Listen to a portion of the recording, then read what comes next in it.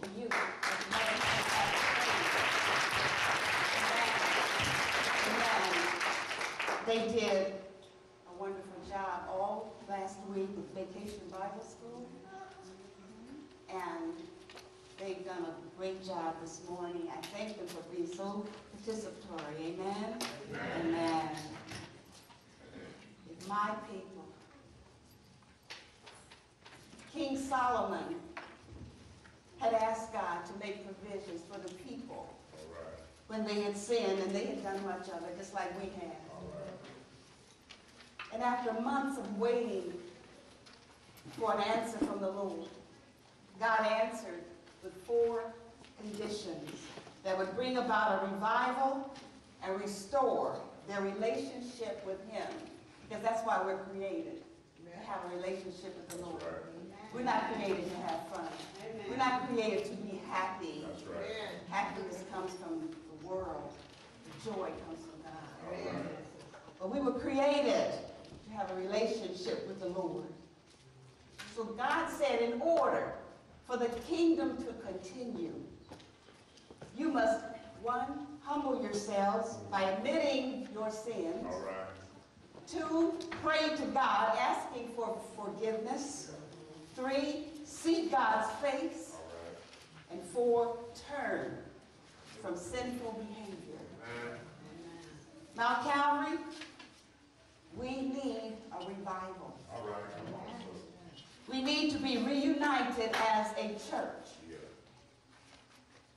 We've been going through some stuff. And the stuff didn't start six months ago when our pastor left. It started a long time ago. Come on with it now. The enemy has been attacking Yes. the church, not just here at Mount Calvary, Yes. but all over the world. Yes. But God, God. but God is greater than the enemy. Amen. Greater is he that is in me than he is in the world. Mount Calvary, our survival as a church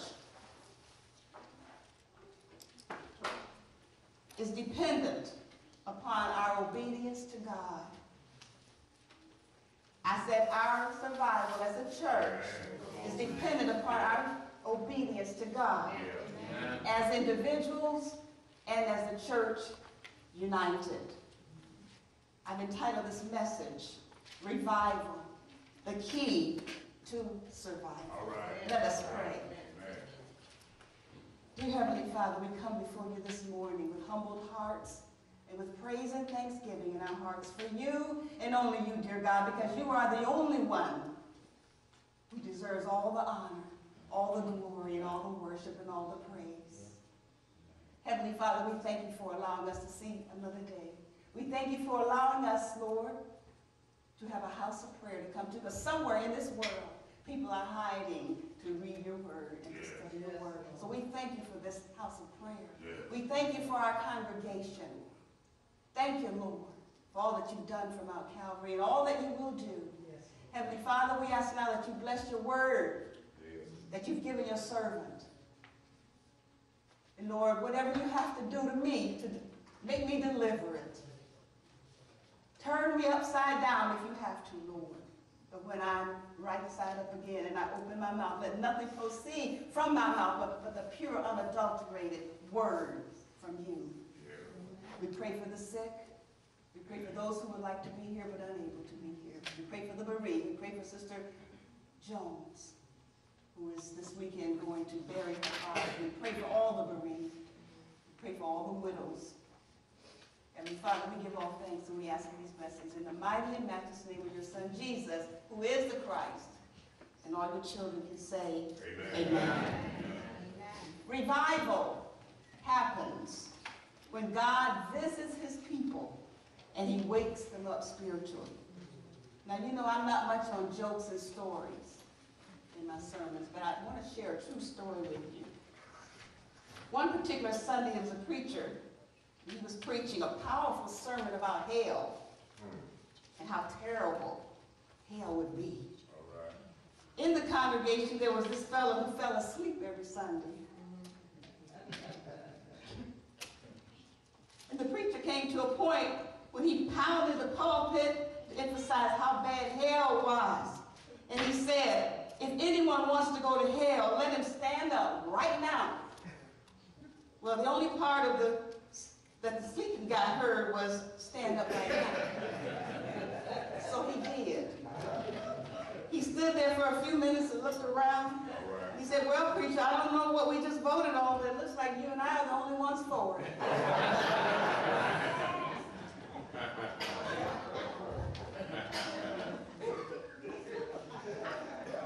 Beloved, if we want a true revival here at Mount Calvary, if we want God to heal our land, if we want to be restored to what God had in mind for the church from the beginning, if we want to truly get off to a godly start with our new pastor and the new congregation merging in, it is incumbent upon you and me to follow the same instruction that God gave his people under Solomon. We're going to have to humble ourselves. All right. We're going to have to pray. Yeah. We have to see God's face, and we're going to have to turn That's from our wicked ways. Yeah. Thank you, sister. Call it like it is.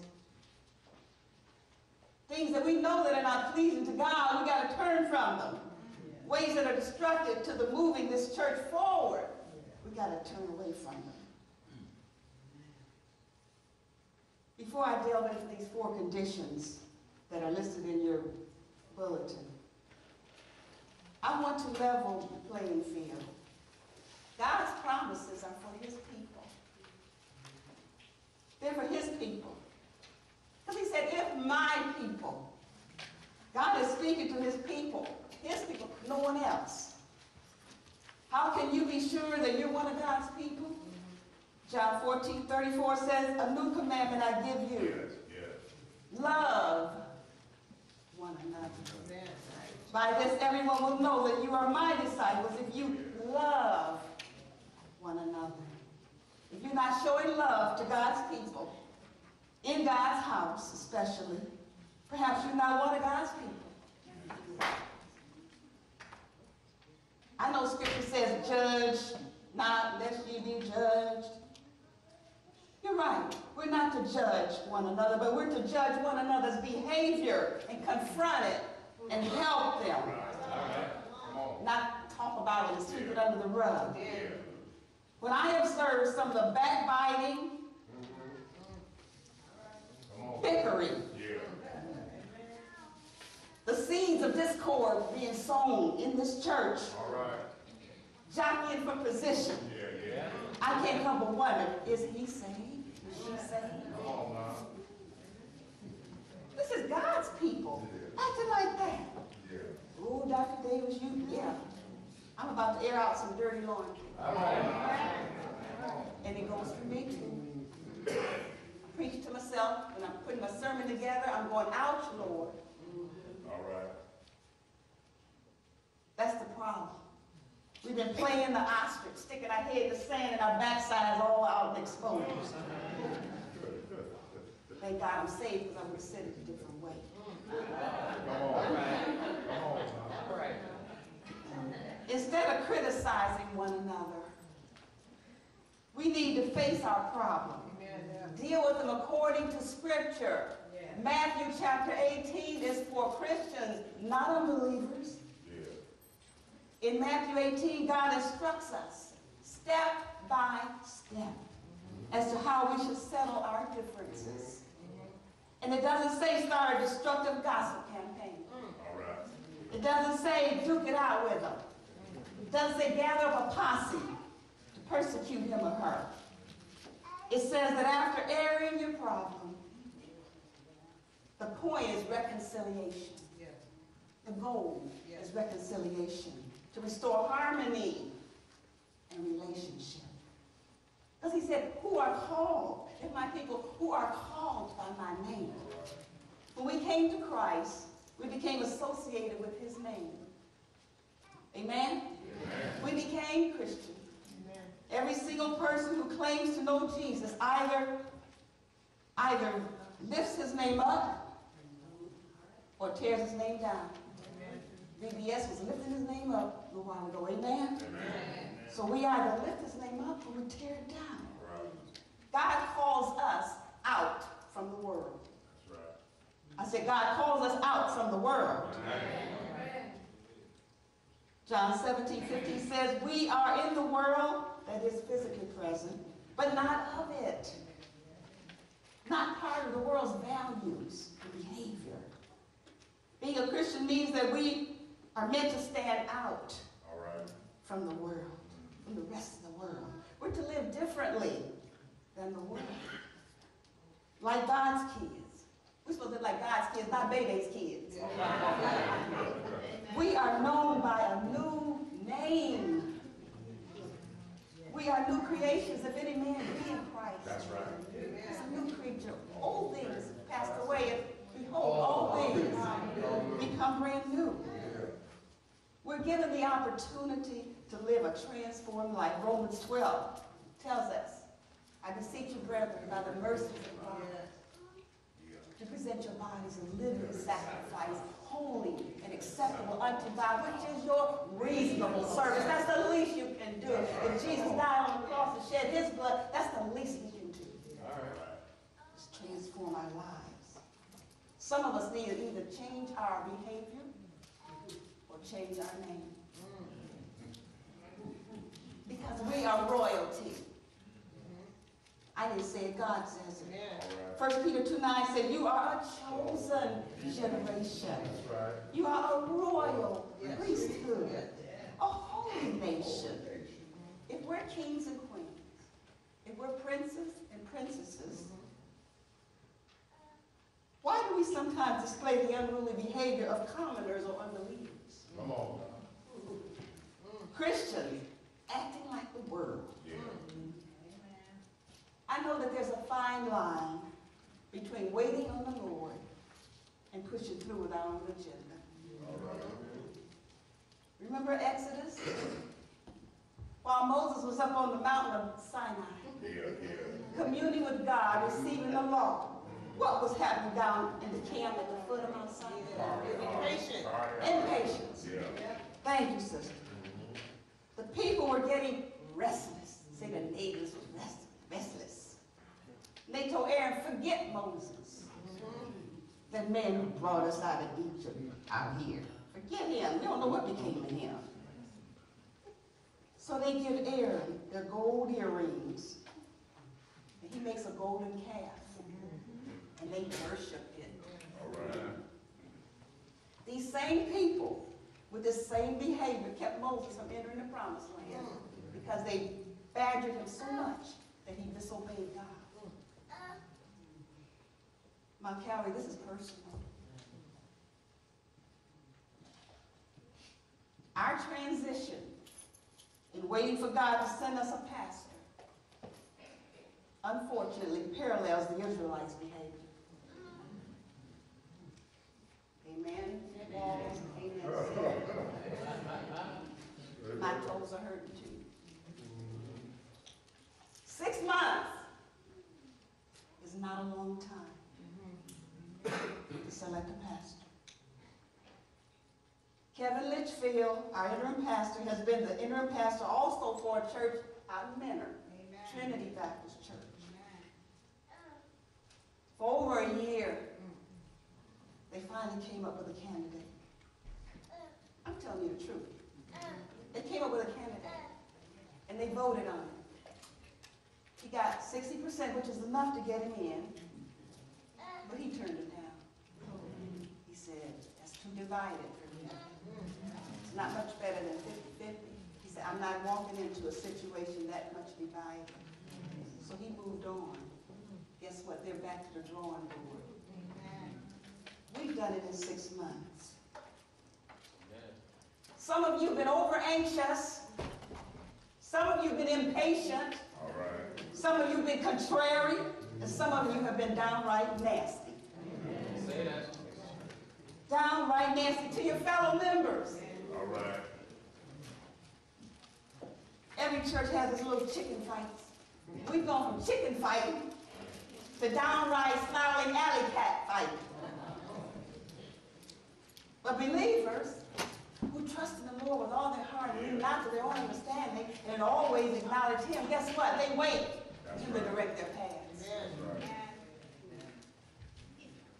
I'm going, I'm going out on a limb now. I'm going deep for this. The buzzword around here. We need more than one candidate to choose from.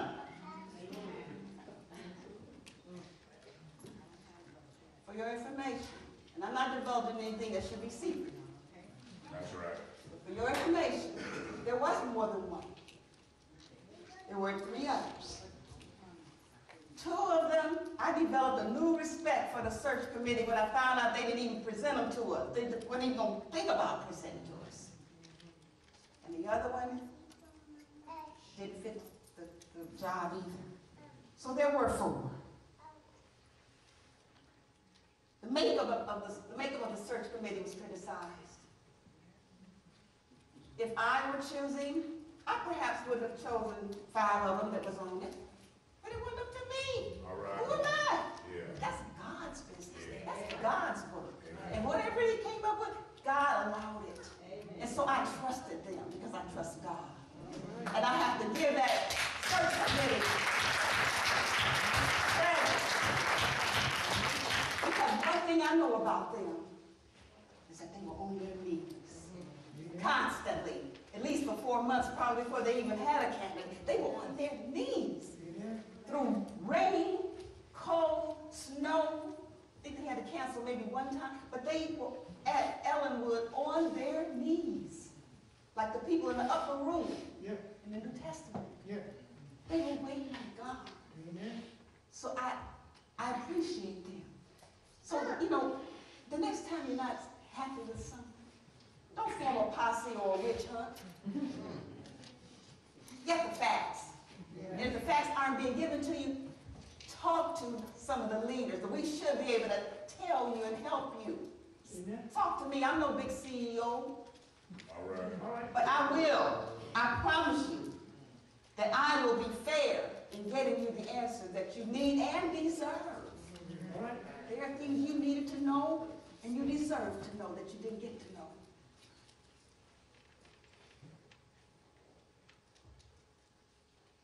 It's time for some soul searching All right. around here. It's time for prayer. It's time to put on our big girl pants and our big boy pants. It's time to unite ourselves and be on one accord, not two or three. One accord. Amen. We got a new pastor coming in here in August with the congregation. New people merging in with us. I want us to behave ourselves. Amen. I want us to behave ourselves and recognize what God says are the conditions for revival. And I'm going to start with number one, humility. Humility. I would like for you to look at your programs and recite 1 Peter 1, um, 1 Peter 5, verses 5 and 6. You ready? It's in your bulletin. You don't have to really look in your sword. It's in your bulletin. It says, For God, let us say together, for God resisteth the proud and giveth grace to the humble. Humble yourselves, therefore, under the mighty hand of God, that he may exalt you in due time, casting all your cares upon him, for he careth for you. Now, we're going to have class. Because we're going to exegete, we're going to dissect this, this scripture.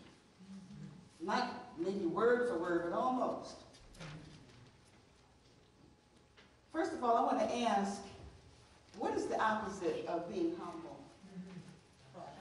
Proud. Being, yeah, pride, being proud. Being proud. Pride. What does it say he does to the proud? God, what does it, what does scripture say he does?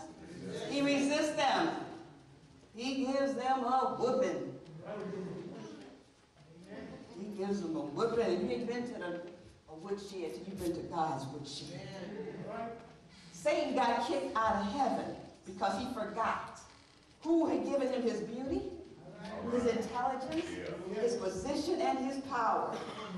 He forgot from whence it came. The power that he was operating on, he forgot. He brought that pumpkin to town. He forgot. Got kicked out of heaven. Pride perverted Satan's thinking like it perverts ours sometimes. It perverted his thinking into rejecting the dependence upon God And he elevated himself above God. Adam and Eve, it was pride. The guy kicked out of the garden. I ask you, beloved, what do we have? What do you and I have that we did not receive? Maybe we came in this world, and maybe we will return. And every good and perfect gift comes from above. Oh, but what is he going to give to the humble? Look back at the, look at the scripture here. What is he going to do to the humble? He's going to, he's going to give them something. What, what say? He's going to give them? Grace. Grace. He's going to give you something you don't deserve. Amen. Something you cannot earn, which is forgiveness and eternal life. Instead of giving you what you do deserve, which is hell and damnation, he gives you grace. Right. And so he says, therefore, humble yourselves. Admit who's in charge. Admit who owns the cattle on a thousand hills. Admit who owns the hills. Admit who, never, who will never leave you nor forsake you. Admit who supplies all your needs according to his riches in glory. Admit through whom you can do all things through Christ that strengthens you. And it says, in due time. Yes. That means in God's season, That's right. in God's timing. He's not on your watch. You're on, we're on His. In due season. It may not be your season. And I just, my, my bio- biological clock is ticking, so I just need to get married. It may not still be your season to get married. Wait on God. Well, I want this, I want that. You know what? You need to be on your knees talking to God. Constantly about it, without an attitude. Because to everything there is a season. And then I see that word exalt in that scripture. It says, He will exalt you if you humble yourself. It says, He will exalt you. He will raise your status. He will raise your power, your, your position. Jeremiah 29 11 says, I know the plans I have for you. Amen. Plans to prosper you and not to harm you. Plans to give you a hope Yes. and a future. He Yeah. does that for each one of us. That goes for every one of us. Amen. God says, leave it to me. It says, casting all your cares, leave it to me. Come unto me, oh, all ye that labor and are heavy laden. and I will give you what? Rest. Take my yoke upon you and learn of me. For my yoke is easy and my burden is light. Like I said, give it to me. Give it to me. And he says, admit your sin. Don't be too proud. I know him already. I already know him. I know you. Yes. And I planted goodness in you. All right. God says he has planted goodness in you. And he says that, guess what? That goodness is still there, no matter what you've done wrong. That goodness that he planted in you, it is still there. Amen. He says in Philippians 1 6, be confident of this very thing that he who has begun a good work in you is faithful Yeah. to carry it on to completion until the day of Christ Jesus. When God starts a project, he finishes it. Yes. Amen. He carries it throughout our lives and will finish it when we meet him face to face. Amen. The whole Trinity is on your case. Each one of you. The whole Trinity is working for you. That's how important you are to God. Amen. God's work for you began when Christ died on the cross. His work for you began then. His work in you began when you believed and accepted Jesus Christ as Savior and Lord. Yes. And now the Holy Spirit lives in you to enable you Yeah. to become more Christ-like every day. That's That's the process of Christian growth and maturity. Check us out on Sunday and Wednesday over there. Check Minister Ray and I out. It all starts with being humble. In several scriptures, Jesus calls on us to turn from our proud ways and become like children. All right. Matthew 18, 3, it's in your bulletin. It says, unless you turn and become like children, you will never enter the kingdom of heaven. Amen. A baby has faith that it will be fed, clothed, and provided for each and every day. Mm-hmm. A baby puts its hope and confidence in someone other than itself. Every single moment of the day, a baby is wholly leaning and depending on someone else to provide for it. Right. In a word, a baby is humble because he looks to something outside of him All right. for what he needs to survive. God wants us to be the same way. James, John 1, 5, 5 says, if I, he says, I am the vine, mm-hmm. you are the branches, and apart from me, you can do nothing. All right. That's right. A child is utterly dependent on its parents. And that is what God wants from you and me. Jesus wants us to be without pretense. Be real when we come to him. Instead, we often try to be something we aren't. We try to be so, so religious and so spiritual. right. Come on. We just want to get, get it right. You didn't have to clean yourself up to get saved. Why do you think you got to clean yourself up to go to, to the Lord? Right. When, especially when it comes to praying and talking to him. Why put this mask on? Come on, man. He, Jesus don't want you coming with a mask. He wants to come just as you are, messy. Yeah, I said messy. Just come messy, just like you are. Don't try to get the prayer right. Well, let me see what I can say. This. No, don't write out. No, just come to the Lord. Just come to the Lord. Say what's on your mind. That's what little children do. That's why they're so precious. They say what's on their mind. Right. That's the way God wants us. Right. The only way to come to God is to take off our spiritual masks. Amen. The real you has to meet the real God. Amen. When we humble ourselves, we're literally saying to God, you're in control of my life. All right. Pride sings the song, How Great I Am. Humility sings, How Great God is. Pride refuses to worship and give God glory and honor, but humility is unashamed to praise, honor, and glorify God. King David told his wife and she criticized him for praising God and dancing in the street because the ark was coming home, he said, you think that was something, you ain't seen nothing yet. I'm gonna really, I'm gonna really put a show on for you now.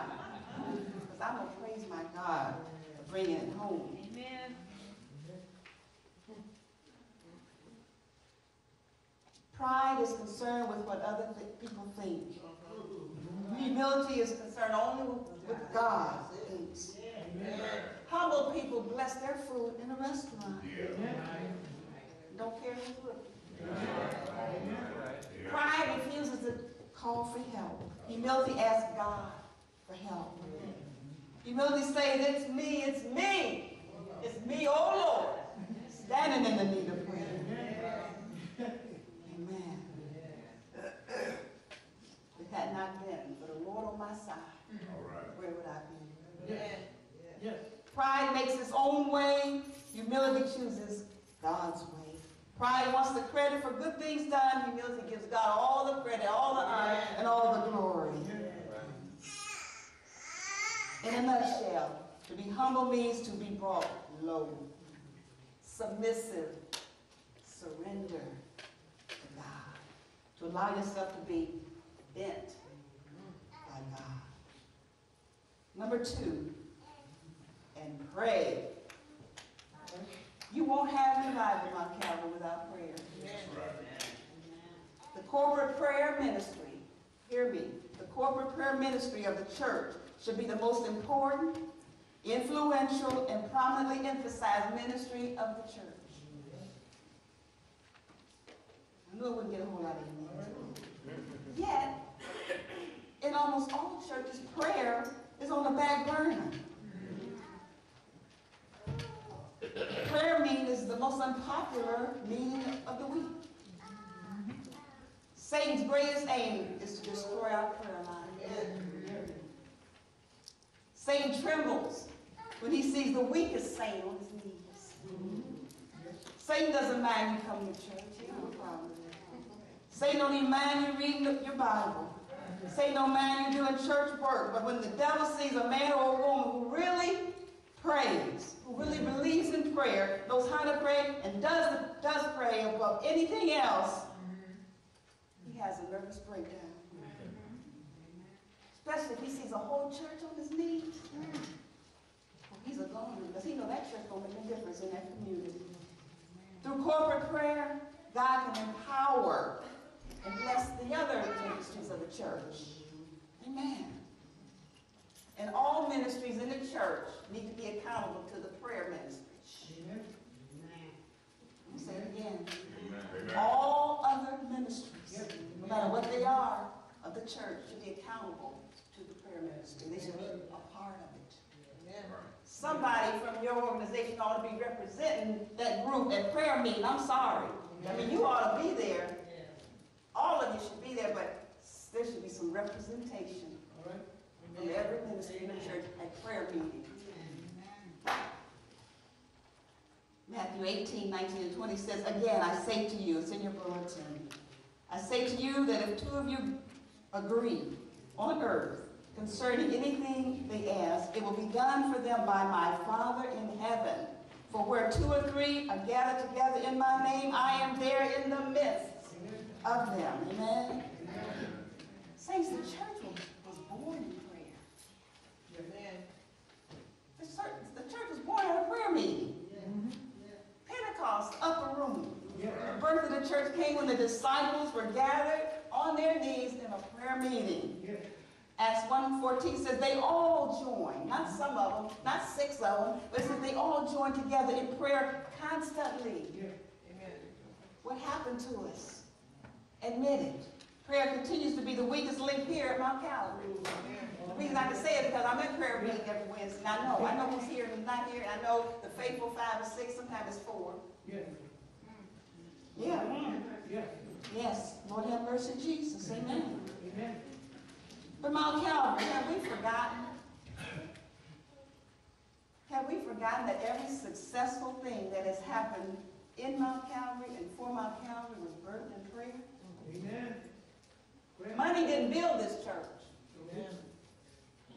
Prayer Amen. built this church. Prayer Yes. built this church. Mount Calvary, you should remember the Alamo of 2006, 2005 rather. Yeah. Alamo. When we got ready to build this church, and the then mayor coach said, ain't no way in hell you're gonna build a black church in Medford. Amen. What he didn't know was, we weren't trying to build it in hell. We were trying to build it in heaven.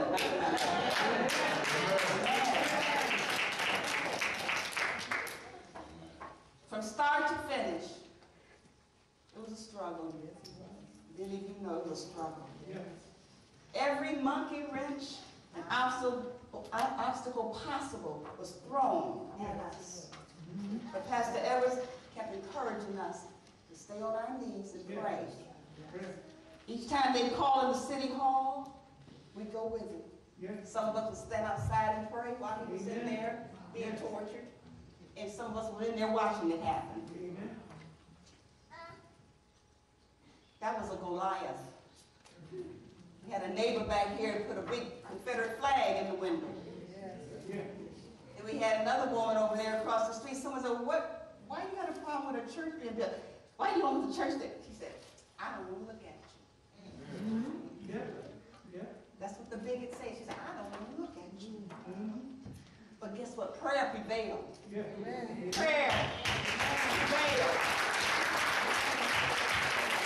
We're going to see a spiritual revival here Mount It, it will come about as a result of us being on our knees and praying. Yeah. Going to happen with, with prayer, not preaching, not teaching, not church activities, but it's going to happen through prayer. God is not waiting for the world to turn to Him in repentance. He's not waiting for the leaders in Washington to seek His counsel. He's waiting for the church everywhere to get on her knees. We struggle to gather a handful of people to pray for an hour once a week, half hour. But let Beyonce or Kenny G or. Kim Ho come. Rocksino will be packed. That's right. And the lottery lines don't suffer on Wednesday between six and seven and eight o'clock when you should be here and you're in the lottery line. Mm-hmm. Just telling you like it is. The church today does not see God moving because we have stopped seeking God. When we do pray, sometimes we're asking for the wrong thing, for the wrong reasons, according to our watch, not God's. James 4, 2, 3 said, You do not have because you do not ask God. When you ask, you do not receive because you, when you ask, you ask for the wrong motives that you may spend what you get on your pleasure. Yeah. Prayer changes things. Yes, it does. What we do on the ground in prayer determines what happens in the air. All right. Number three, seek my face. All right. God calls on us to seek his face. And we know that God doesn't literally have a face. He has no body. God is spirit. As John 4, 24 says, God is spirit, and they who worship him must worship him in spirit and in truth. Yet, in Jeremiah 29, 13, God promises, you will seek me and find me when you seek me with all your heart. How do you seek God, beloved? How do you seek God? Do you just seek God's hand for what he can give you? You just seek him for how he can change your life for the better? Or do you seek his face? Because of who he is? Do you seek his essence, his being? Have you taken the time to explore God's ten attributes? His sovereignty, his eternal existence, his omniscience, his omnipotence, his omnipresence, his veracity, his immutability, his love, his righteousness, his justice. Do you seek it? The problem is most people are seeking God, are seeking his hands, not his heart. And not his mind. Seek the mind of God, and you, you, you'll see his face. They're seeking God for what he can do for them. Their prayers to him consist of please heal, please give, please fix. This is not seeking God. You're supposed to present supplications and present your needs, but that is not seeking him. It's not seeking his face. In seeking God's face, we shouldn't be looking for results. We should be seeking him for joy of who he is and seeking to abide in him. He said, you abide in me and my words abide in you. Yeah. You can ask anything. Amen. Amen. To see God's face, we have to step out of our daily routine. We got to step out of our little comfort zone. We got to choose a special time, let everything else go, but Him. Right. 1 John 2, 15 and 17 says, Do not love the world or anything in the world. If anyone loves the world, the love of the Father is not in him. The world and its desires pass away. But the man who does the will of God lives forever. Yeah. In heaven, too, not forever in hell. If we're holding on to earthly things, we'll never step into heavenly things. Isaiah 52, 59, 2 says, But your iniquities have separated you from me. They have hidden my face from you, so that he will not hear. When we see God's face, it's all about him, not us. Yes. Just spend some time with him. He must be, become greater, we must become less. John 3.30 says, do you worship him for who he is rather than what he can do for you? Psalm 37, 4 says, delight yourself in the Lord and he will give you the desires of your heart. Jesus said in his Beatitudes that the pure in heart will see God. Number four, last one. Turn from your wicked ways, and I know we don't like this. Lord. First John 1 9 says, if you confess your sins, he is faithful and just to forgive your sins and to do what? To cleanse you from unrighteousness. Some of us don't want to be cleaned up. I had a teenager here recently told me, I know it's wrong, but I, I just like to do it. And I pray, I pray with her. But she's no different. We don't blame everything on kids. We adults, we old folks, same thing. Same thing. We just admit it. We just admit it. But we can't hang on to things that God hates and expect things to be right with Him and expect Him to restore us. You may have to get rid of something. You may have to get rid of somebody Yeah. In order to make this turn. But it'll be worth the sacrifice. Because they weren't worth it in the beginning, because if they were, they would have been telling you about Jesus. Whatever is making you hang on to the works of the flesh, and they're listed in Galatians, adultery and fornication are in the lead. But we have desire. Yes, you have desire. God gave you this. Yes, He did give you desire. But there's a difference in desire and lust. All right. Lust is desire out of control.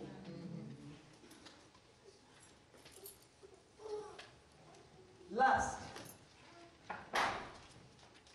is from the world. This flesh is rotten. It's rotten to the core. Paul says, I know that dwells in me no good things. He told the truth. This flesh will tell you that it's all right to lay up with someone you're not married to. And would get quiet? God created yes he did. And he also established an institution to govern it, called marriage. All right.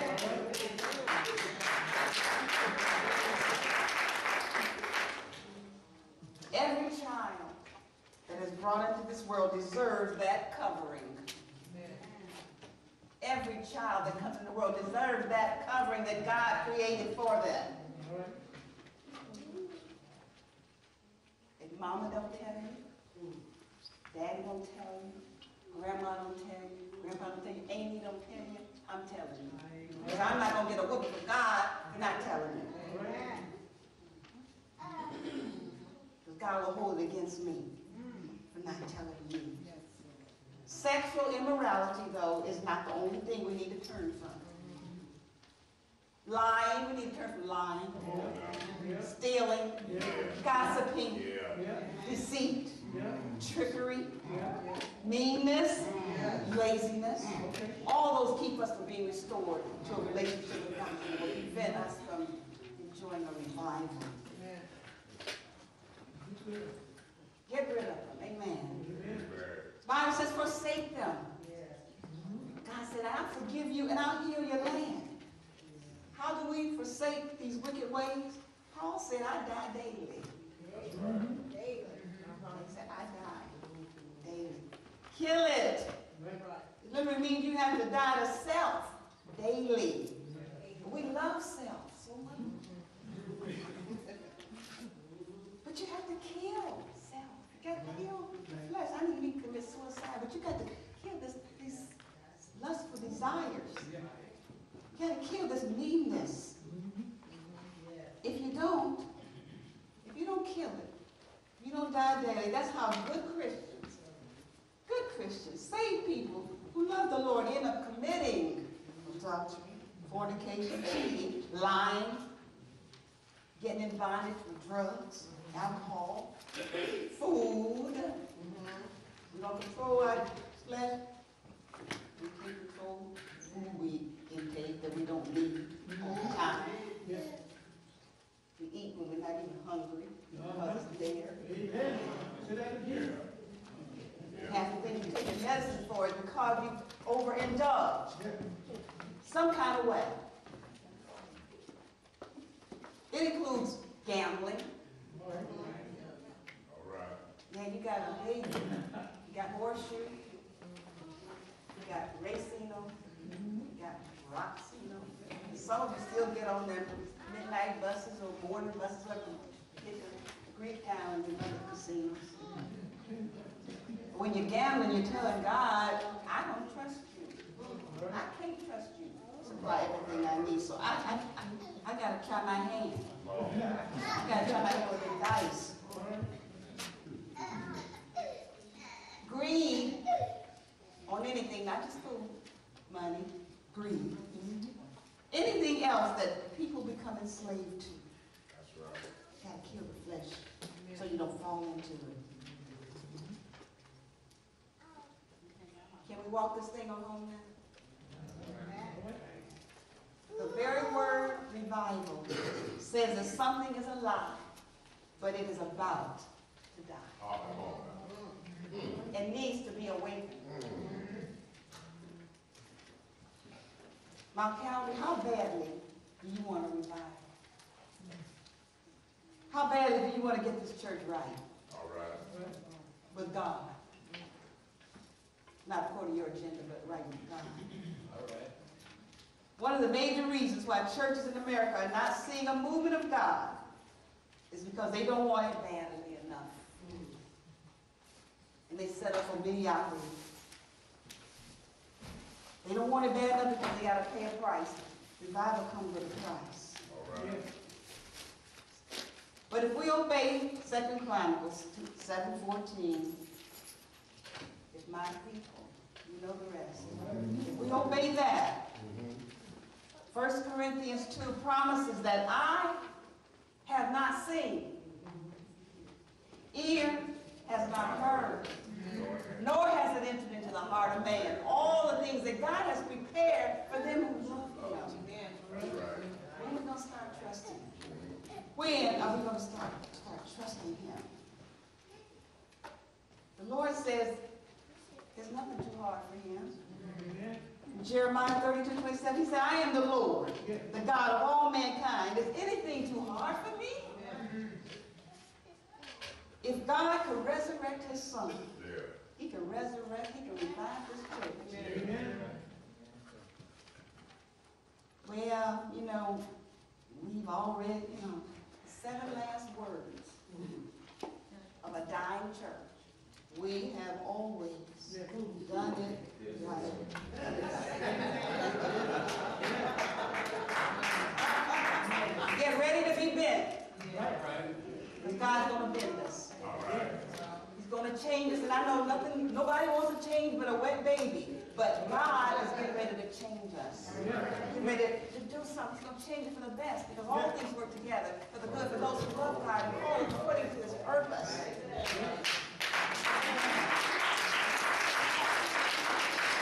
God wants the best for Mount Calvary. God wants the best for you. Jesus died to provide the best for you Jesus humbled himself, left heaven, put on flesh, and came down to this earth Yeah. to die That's for you and me. That's humility. And he was obedient. His love for you made him obedient all the way to the cross. And we know that he prayed in the Garden of Gethsemane. Yeah. Father, is there any other way? Can this cup pass from me? Yet not my will, but your will, Father. Yeah. He was thinking of you and me. He saw you, and he saw me. But he also saw his Father's face All right. and was obedient to the resurrection. The resurrection happened so that he could ensure eternal life for you and me. Yes, he got up. Yeah. Mm-hmm. Sure, But he got up with all power Yeah, yeah. in his hand. That's right. And because he got up, you and I will get up. If the Lord tarries, and we die on earth physically and are buried, he still, he, made a way. He said, let not your heart be troubled. You believe in God, believe also in me. In my Father's house, many men, were not so, I would have told you. I go to prepare a place for you, and if I go prepare a place for you, I will come again and receive you into myself, that where I am, you may be also. And we know that he kept his promise.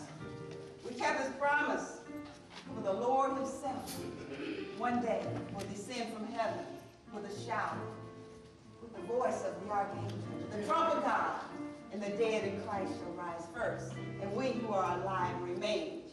We call it together in the clouds to meet the Lord in the air. That ought to get you excited. To.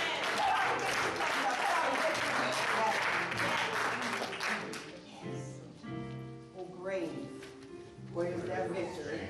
Oh, death, where is the sting? There's no sting of it. Because we have a Savior who is alive. Amen? Amen. What can wash away my sins? Nothing but the blood of Jesus. What can make me whole again? Nothing but the blood of Jesus. Oh, precious is that flow that makes me white as snow. No other fountain I know. Nothing but the blood of Jesus. Alas, and did my Savior bleed? Did my sovereign die? Would he forsake that sacred head for such a worm as I at the cross? At the cross, where I first saw the light, and the burdens of my heart rolled away. It was there. It was there, Ray, by faith. That I received my sight, and now I'm happy all the day. There is a fountain. There is a fountain. Filled with blood. Drawn from the. And sinners plunge beneath that flood. They lose all their good sins. At the cross.